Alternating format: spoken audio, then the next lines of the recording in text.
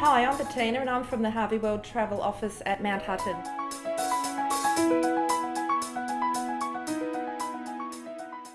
I wanted to share with you today, uh, just talking to you about my wonderful experiences I've had um, travelling to Canada and Alaska with Scenic Tours.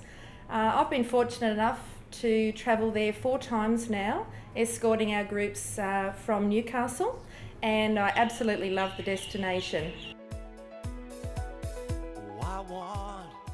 You get the opportunity to experience the wonderful Fairmont hotels and usually travelling in uh, Goldleaf on board the Rocky Mountaineer train, which is one of the uh, wonderful train journeys of the world in the wonderful scenic uh, glass dome.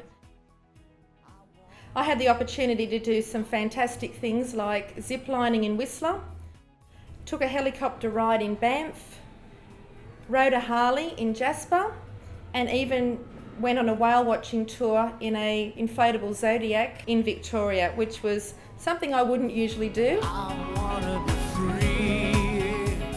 As part of the uh, Scenic Tours experience, we get the opportunity to travel up to Alaska on a lovely seven day cruise on board either a Holland America ship or a Princess ship.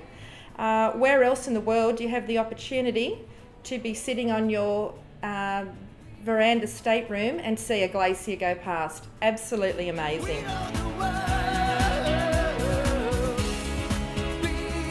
I've travelled, as I said, I've travelled a few times to Canada and I've travelled in the May June time, which is the time where all the animals are coming out of hibernation.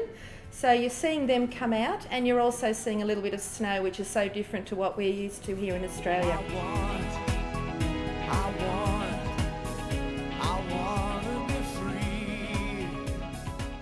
As you can see, I'm very passionate and absolutely love Canada and Alaska as a destination. So if you're interested in travelling to that area of the world, come on down and see me at Mount Hutton and I'd love to show you some photos and answer any questions that you have.